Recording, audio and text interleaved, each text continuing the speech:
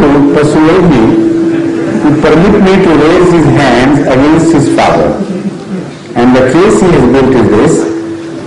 First of all, that he insults Ahmadiyya while his mother is an Ahmadi, a born Ahmadi, his father is a non-Ahmadi, not only non-Ahmadi but a hostile Ahmadi, a hostile non-Ahmadi, who abuses Hazrat Muslim salam and Ahmadiyyat in such wild terms that uh, he says he cannot tolerate. So what's uh, the, um, what's my opinion, what's my advice?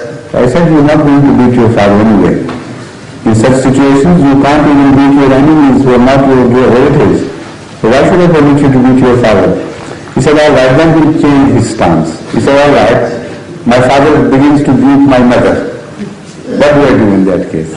I said, this is a situation common to religious or non-religious uh, situations. I mean, this is not particularly pertaining to Ahmadiyyat or non-Ahmadiyyat. Many times it happens that some cruel husbands beat their wives when even if their children are grown up. So the answer to that situation would be the same. It's a very ugly situation. And still I shouldn't permit children to raise their hands against their father. So what they should do, to do is to go to the law. Before such situations develop, they should have recourse to the elders of the town uh, their neighbors and uh, bring about some moral pressure against the spouse.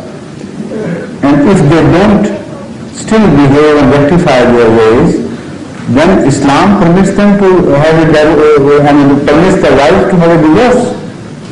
So when the Holy Quran has laid down everything so clearly, why not to adopt the normal course and try to seek permission from me to beat the, their father. I mean, this I'm not going to do anyway.